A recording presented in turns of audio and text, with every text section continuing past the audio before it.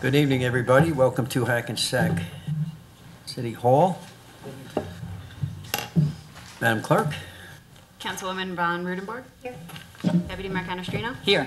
Deputy Mayor Sims is absent. Councilman Battaglia. Here. And Mayor Labrosse. Here. The Open Public Meetings Act, um, notice having been published according to law with a copy on file in the city clerk's office and a copy posted on the bulletin board in City Hall. Okay, would everybody please rise for the flag salute? I pledge allegiance to the flag of the United States of America and to the republic for which it stands, one nation, under God, indivisible, with liberty and justice for all. Thank you. Okay. With that, we'll move on to the agenda. Ted? Good evening, Mayor and Council. Uh, Tonight is the Tuesday, January 23rd COW meeting, Council of the Whole. First item for discussion is the ordinance amendment to Summit Avenue. Summit Avenue has a ordinance amendment for parking. And the issue of the parking is, is that um, as you are aware, the police department has received numerous complaints from residents about parking on Summit Ave between Beach and Coolidge Place. The complaints essentially detail the fact that the length of Summit Ave is limited to two-hour parking only, except for areas between Beach and Central Ave. Due to these complaints, the police department is recommending Summit Ave ordinance number 170-10C at Summit Avenue between Essex Street and Anderson Street, and also Summit Ave between 170 through 71 East 3. Edit Summit Ave from Central Ave to Passaic Street to read Summit Ave from Thompson Ave to Anderson Street. Um, This would be applicable to street cleaning statutes of 170-8, would remain unchanged. That's the recommendation from the police department, and that's the recommendation for the ordinance amendment for Summit Avenue. Basically changes the two-hour parking being amended. So, So- excuse me, so that means they're gonna eliminate the parking on the right-hand side? I don't know that. All I know is parking what on the both- I ordinance. think- Parking on both I think all sides. it's doing is making it Sure, consistent that it's two-hour parking only. Right. From, from, now from, basically from Essex to Anderson, but my question was in the two statements, one says Essex to Anderson and one says Thompson to Anderson. Is that because maybe there's no parking from Thompson to Essex? Leo, do you remember? Yeah, I, I- I mean, I can tell you, because I've looked into Yeah, this. I there's mean, no I- do you have a parking copy of the memo handy? Uh, I just looked inconsistent because they. N- th- th- There, there is some inconsistency in the way that the police department wrote the memo that I am trying to clarify. Because right, Well, Like Thompson is the short street. That's right. Right before, like if you're going Yeah, north. there's, there's no parking on As- as- Summit from Thompson to Essex. And that's probably why, then maybe they should both say, ec- they should just be consistent. Yeah, r- say r- they right, feel- right now, what, what, right now, there's this one little three, four block where there Understand. is no parking regulation. Right. Some of that, there's actually no parking either side. Some of it, there is two-hour parking. So I, I'm trying to clarify exactly what they're asking for, because the changes they're requesting kind of say, one of the changes, the 17010C, deals with um, no parking at all. Um, and, uh, or no, sorry, one of them deals with no parking over two hours for anybody. The other is no parking over two hours for permit holders. So it would not make sense to make both of these changes because then you'd be limiting permit holders to two hours as well if you make the change in 17010.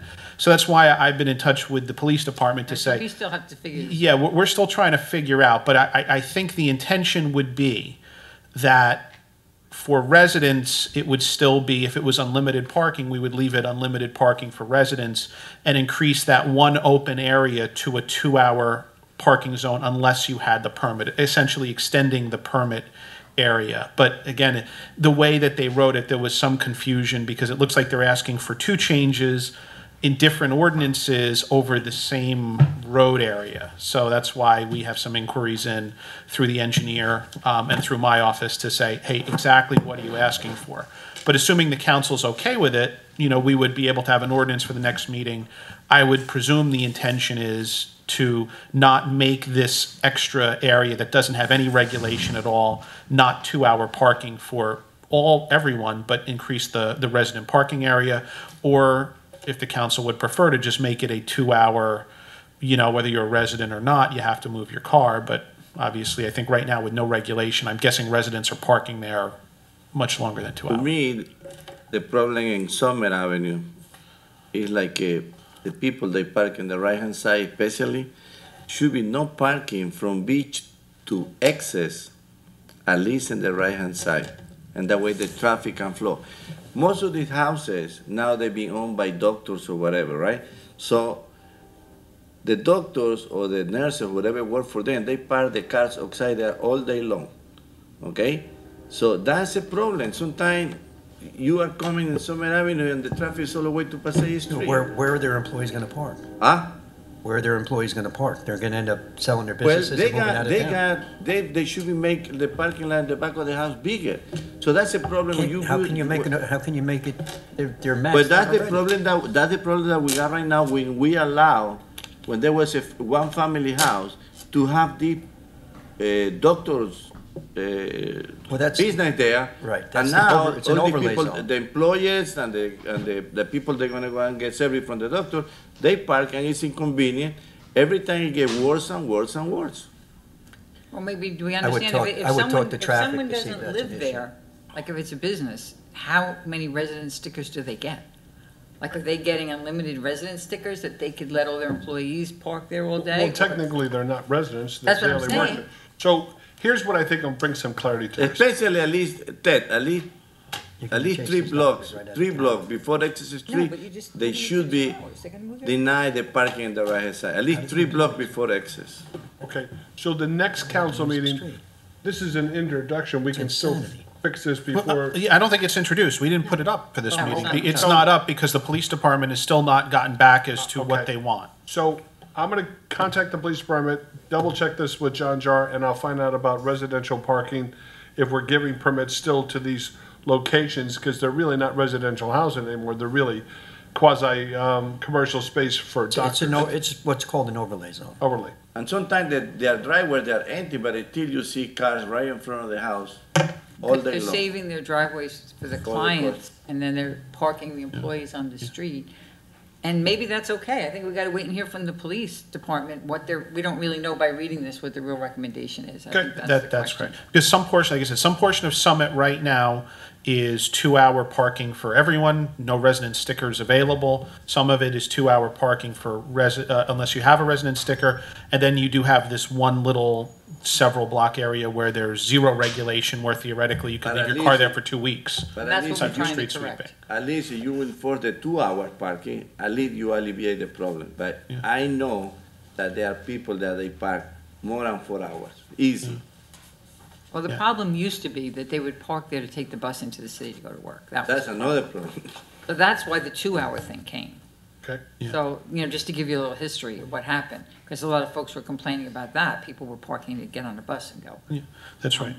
Yeah, and the beach and central, like the, the, the area between beach and central, I mean, it's not big, I mean, it's only a couple blocks. Right. But in that area, it's, you know, it's, it's free for all, do mm-hmm. whatever you, you know, someone could come in from New York City and leave their car parked there all day long. Yeah, Because the people, the Oh, sure. residents around that area, they don't wanna complain because they can put the car in their driveways.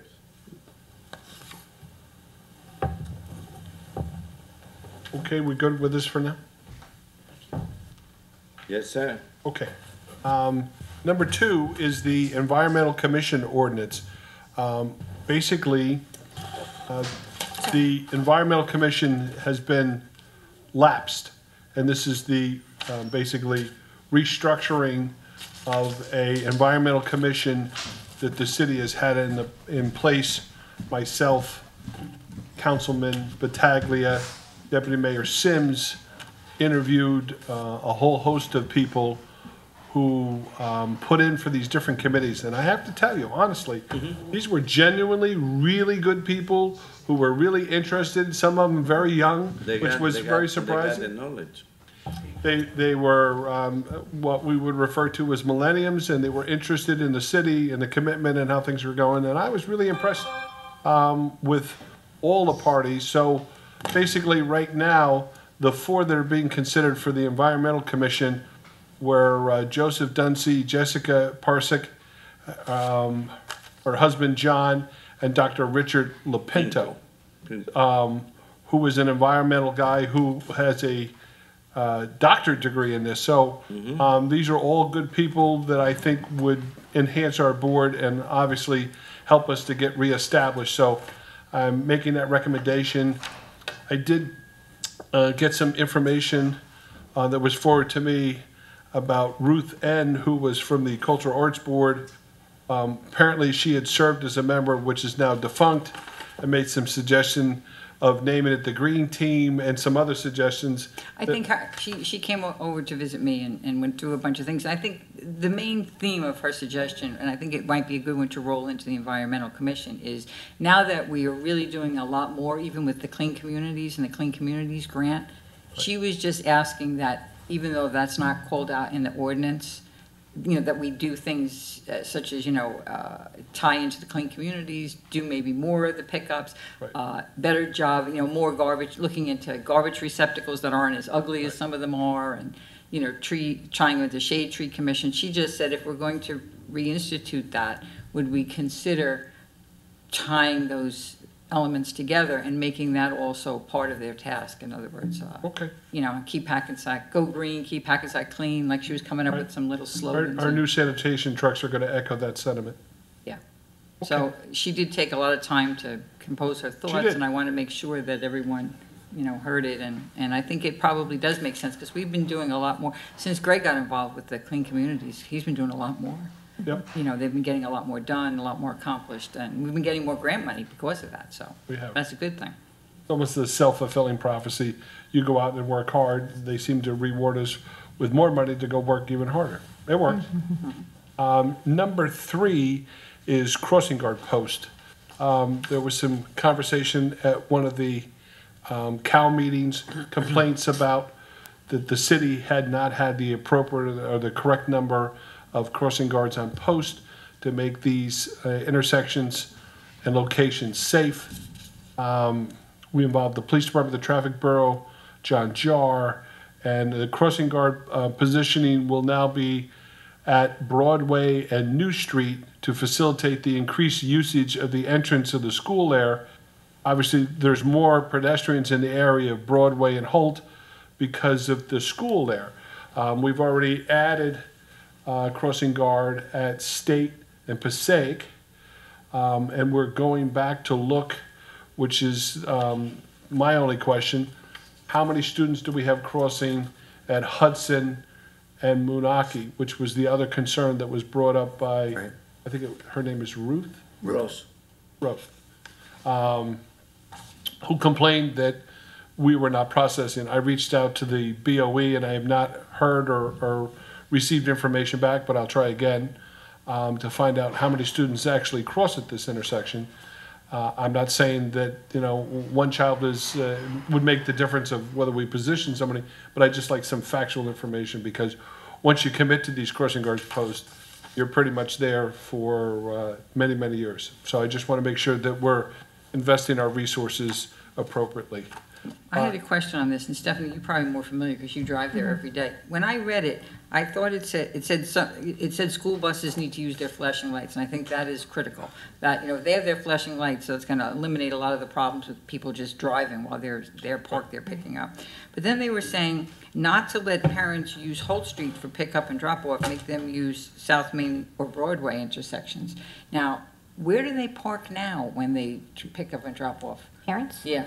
All over, all over. So they're, Right, I was there today. It was crazy. yeah, I, that I was actually gonna ask if, is it the crossing guard's responsibility to also move traffic along? No. Okay, No. because that's Cro- going on. Crossing guards' absolute function is just what it says, crossing the street. They're not traffic control officers.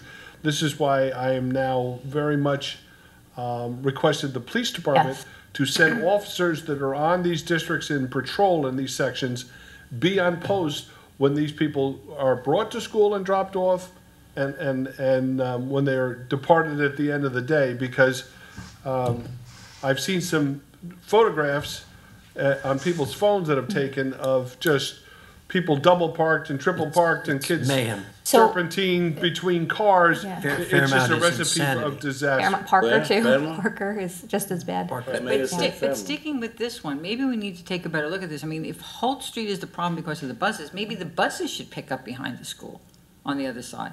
Um, that was explored, and I forget the reason why that, that was not possible, but I will follow up on that. I mean, I think that we know right now there's a lot of congestion there because we've got construction the- the- going the- on, and that whole Right. Street is The only gonna get worse, so. One thing, once, the once the building's built, and that parking lot's open, course, it'll be those different. buses should pull into the parking lot, mm. drop the children off mm. in the parking lot. Right. That eli- eliminates that whole Right, situation. Now they only And then- cross the, cross the No, they, street. they, they have to park in the same way they park now. The only thing is the parents, Why? they Why can can't they pull into the lot? Because if this is the, no, if this is the building, the buses they park right now here. The problem that was before it, that sometimes the, the buses, by the time the kids they get in the bus, they got the red lights on.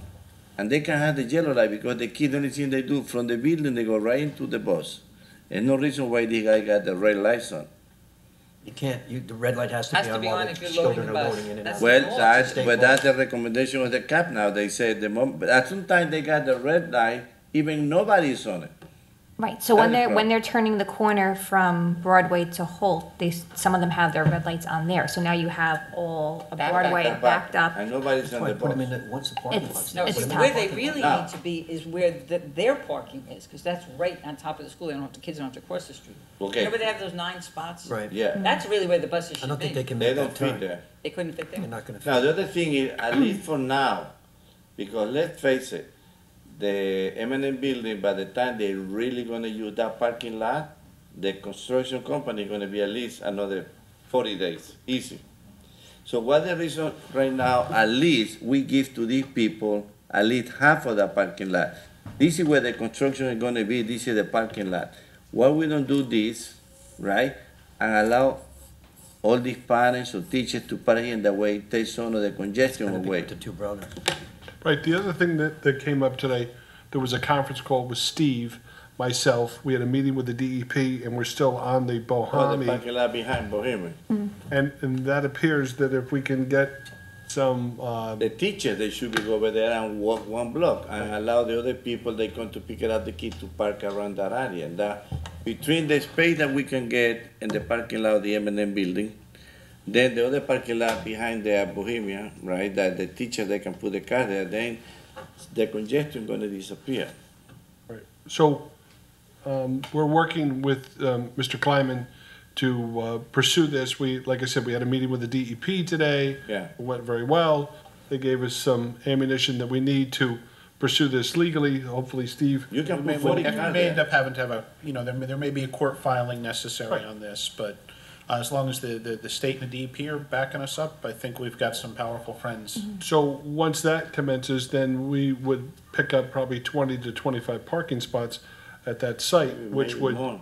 which would certainly supply enough, I would hope, the parking for the teachers, at least get them moved out of the way, and then we'll see what the You have to make sure that the solution is. Board of Ed is on board and gonna do this, that's the key. They have, they're the ones that have to have the teachers park there. No, I understand. But I think in the meantime, the police have to be there because the crossing guard where she is now is a big spot where parents are double parked and you have her trying to cross kids and they're parked right in front of her and she can't see. and New. Yeah, it's a bad, bad area. Street. And then the police should just ticket, you know, whoever's doing it, ticket them because, you know, some parents are doing the right thing and driving around, driving around looking for spots and other ones are just Right. pulling up and double parked. Okay. Um, The next is number four, which is the um, loss of Tony Sedita. Um, We have a uh, position on the Shade Tree Board, and we asked Fred Cole to fill that position, and he has accepted that. So the mayor and council will have to approve adding him to the board, but I think Fred will do a good job. And I think um, with his occupation and, and the functions that he performed for the city. Um, I don't know if he'll be a a hundred percent replacement for Tony Sedita, but he's certainly a good start, so I make that recommendation. Uh, number five is the re- uh, removal of the parking meters on Atlantic Street. Um, this comes, like everything else, with a, a few issues.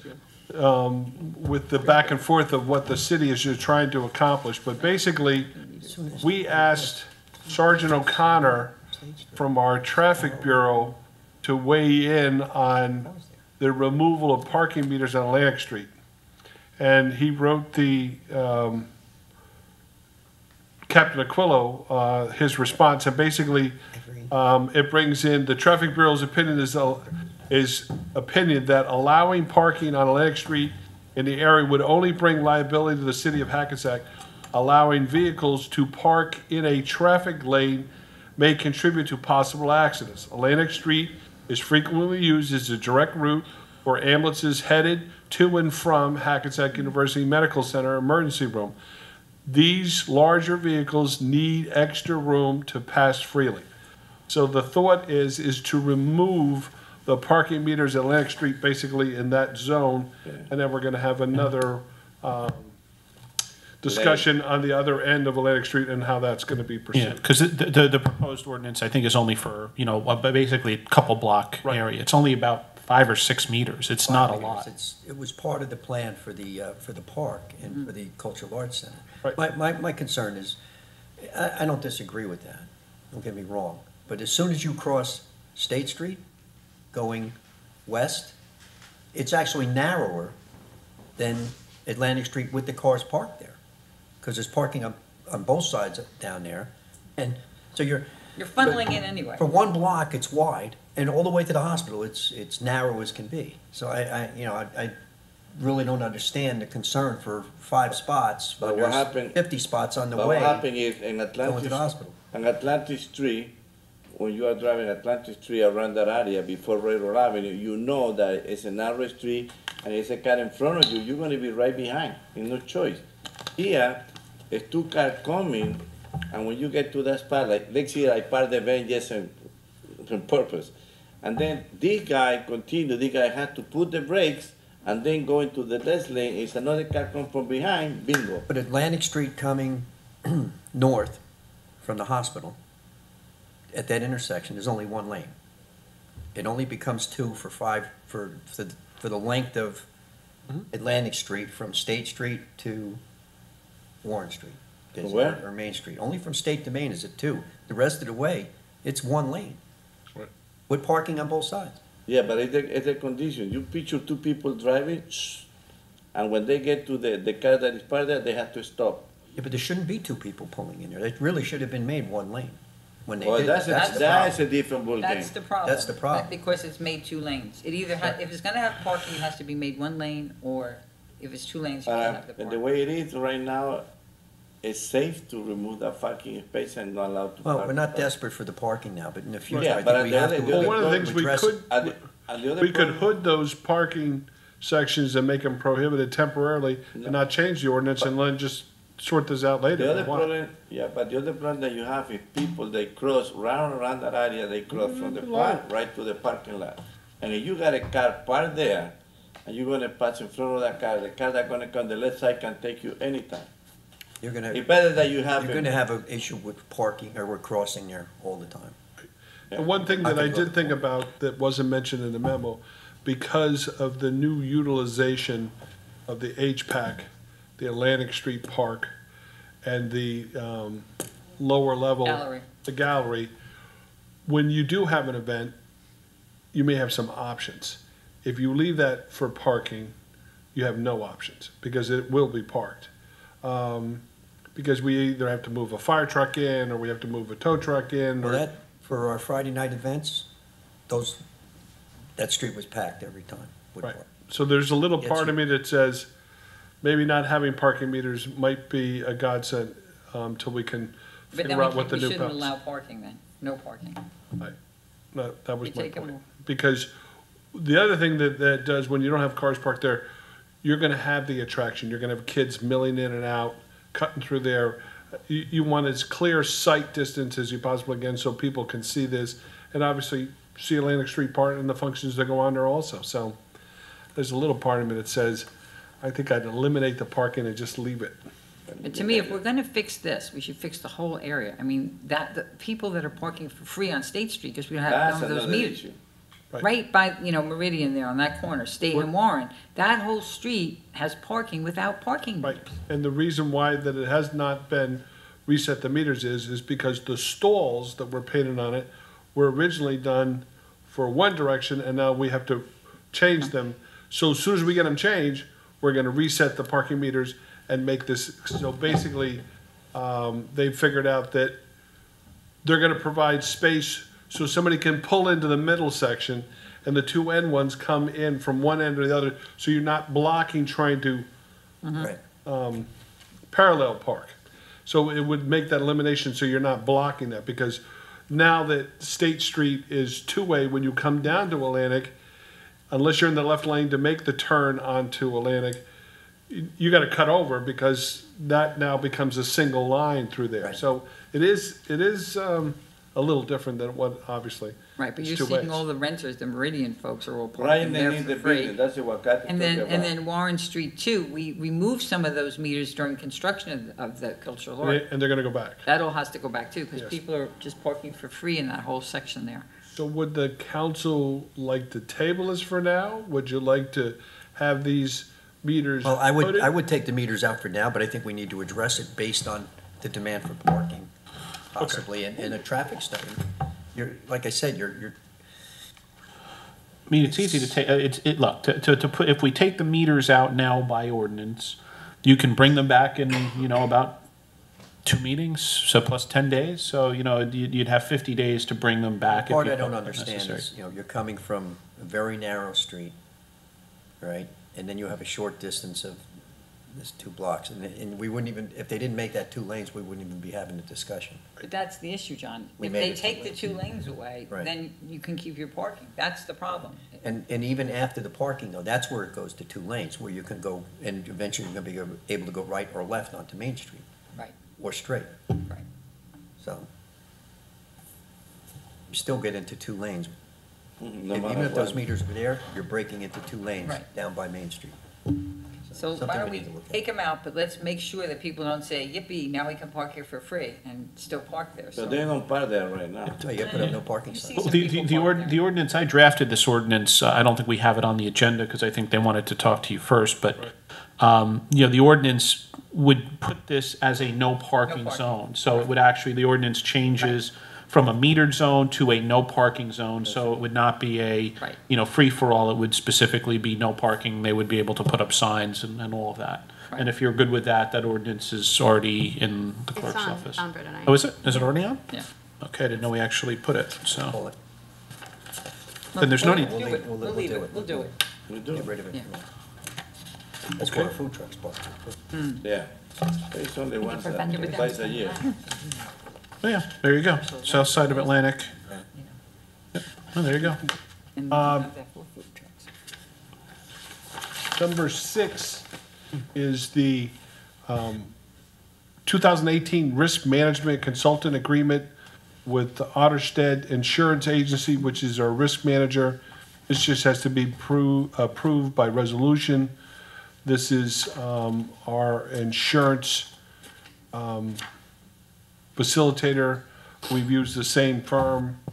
Um, I make this recommendation. This is just a procedural thing that needs to be approved. And number seven is the issue of handicap parking. I forwarded a, a email to the council um, of all, which are forty-five since Christmas, Forty-five. of all of the either expired or fraudulent handicap parking stickers that, that the Hackensack Police Department has picked up, which um, goes to the credit of them and shameful on the people that are still using this when they really don't need it, and we have the physically impaired um, trying to find in or have uh, egress or ingress to, to shopping or whatever facility that they need. How much is the fine? I don't know. It's two hundred fifty dollars. I think it's two hundred fifty. It's been a while since I've issued that summons, but, Can we um, contact the, the gentleman who was here, um, handi- he was that handicapped gentleman, um, who spoke out on this? Overlook? He would- lives over on Overlook. Mhm. and just let him know, because that's quite an accomplishment. I'm Yep. sure he'd be happy uh, hearing that. He, he definitely sang the praises of the Hackensack Police Department for their efforts. Um, The other thing that came up here is I also have a request from a gentleman who wants us to entertain reserved handicap parking spaces for residents basically only. So basically, the Oh, is that- person's That's what he wanted. handicap That's what he He wanted, wanted. same guy probably. What's his name, do you remember? Um, I have it downstairs. Um, I didn't bring it up with me, but it sits on my desk. But in either case, That's a tough one. the, the problem with that is the minute we make that offer, Like a private parking. it's private parking for him, and now anybody else that's handicapped can't use the placard. And I explained to this gentleman in pretty detail that, um, well, other towns do it, and I said, well, that may, that may be true, sir. But here in the city of Hackensack, where parking is at premium, and we have a lot of movement of residents and, and people coming to the city, and people that are physically challenged and handicapped, to isolate them because you're the only one that can use that parking. Well, you know, I, I- said, I'm not trying to debate that there isn't a need for it, and I understand that you personally are, are, have that condition, and I understand it, but you're not twenty-four seven here, and the minute you pull away, anybody that wants to use that can't, because now we're in a conflict that we basically have reserved handicap parking. I mean, it is, I, I mean, I will tell you, some municipalities, it is not, it, does happen. I mean, I have seen towns where it will say, you know, a handicap parking spot reserved for license plate number, you know, QXC one, two, three. Um, and yeah, a lot of times those parking spots, you don't see anybody in them all day long, but it is a reserved parking. Generally, when that's done, it has to be, you know, somewhat extraordinary circumstances. So they'll, they'll have a committee or something, you know, where, you know, where, uh, you know, exactly. You have to, you have to try and figure out how to do it. It, it becomes very tricky, um, where they have to demonstrate it's not, you know, it's some exceptional circumstance, but it's pretty rare. I'm just saying I've seen it done. It does have some considerable challenges to do it about fairness, His you know, his about. situation is because he has a van and, you know, he Right. needs the ramp, Yeah. that space that a handicap spot allows to get out. So he can't even use a regular spot, even Yeah. if it's available, because, you know, it's not configured for him to get out. Right. So that's, that's his issue in his case, and I understand that. You know, I, I, I agree, I don't think we can designate individual spots. But I We'll put it did promise him that I would bring it before the mayor and council, I would get him a response, and I would respond back to him, so. Um, I'll, I'll take that as What a, but what about, I mean, that's on the street, but what about And the building in the itself. building itself? Is, is, maybe we could work something out somehow, with them, I don't know. Somebody go out, he go in. I mean, if there's a building, building's supposed to have a certain number of handicap He parking lives, he spots. lives in one of the high rises. Right, yeah, they're, they are supposed to, you know, have, they have have to X go number of, of handicap parking if they've got, uh, a parking garage. Um, you know, again, whether it's big enough to suit an individual's particular needs. unfortunately, the city has some buildings that have no parking on them, and, uh way back when, when it was allowed, Right. street parking. So, uh, and we've had a couple of those complaints in here where they came in and said, oh, you gotta change this. You didn't have any when you started, all of a sudden, it's not the city's responsibility to, to grow some for you in the interim. It's not that, we had the parking available, we do have municipal lots, you can certainly buy reserved parking spots and, and, and, and get it. I mean, I hate to be that person at times, but unfortunately, sometimes I just can't assist everyone with their needs because, um, you know, we're, we're taking a, a- an old city here and, and, and making it apply to two thousand eighteen, and it's gonna come with some bumps and curves in it that we just can't address. If that is all that we have, this would be the end of the city manager's report for tonight. Okay, with that, I'd like a motion to open to the public, please. Offer. Second. Roll call? Councilwoman Von Rudenborg. Aye. Deputy Mayor Canestrino. Aye. Deputy Mayor Sims is absent. Councilman Battaglia. Aye. And Mayor Labrosse. Aye. Anybody from the public who'd like to speak, please come forward. Seeing no one from the public, motion to close to the public. Offer. Second. All in favor? Aye. Aye. Maybe a little bit there, clear. The, um, need a motion to go into closed session, please. Offer. Second. Roll call? And the litigations? Councilwoman Von Rudenborg. Aye. Deputy Mayor Canestrino. Aye. Deputy Mayor Sims is absent. Councilman Battaglia. Aye. Mayor Labrosse. Aye. Whereas the mayor and council of the city of Hackensack deem it necessary to discuss certain actions under section seven B seven and seven B eight of the Open Public Meetings Act, which pertains to matters falling within attorney-client privilege, ongoing litigation, and personnel matters concerning the employment of a current or prospective public employee. Whereas the mayor and council of the city of Hackensack is in the opinion that such circumstances may presently exist.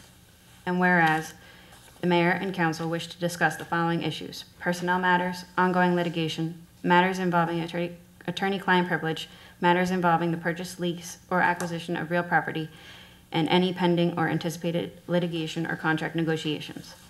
Now therefore be it resolved that the mayor and council of the city of Hackensack deem it necessary to exclude the public from this discussion.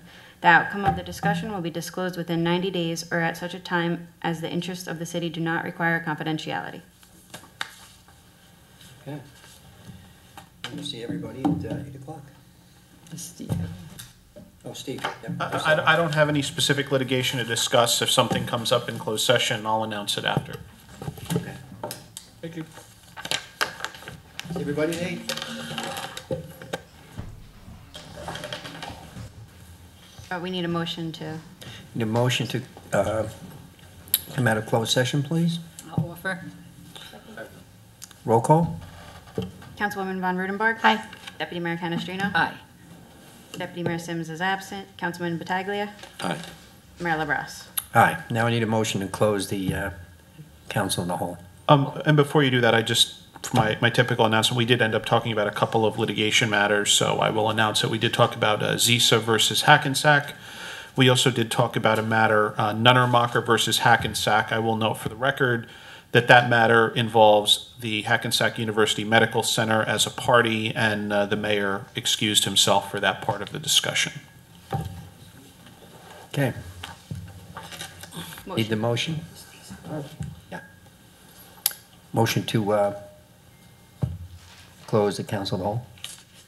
Offer. Second. Roll call? Councilwoman Von Rudenborg. Aye. Deputy Mayor Canestrino. Aye. Deputy Mayor Sims is absent. Councilman Battaglia. Aye. Mayor Labrosse. Aye. Now we need a roll call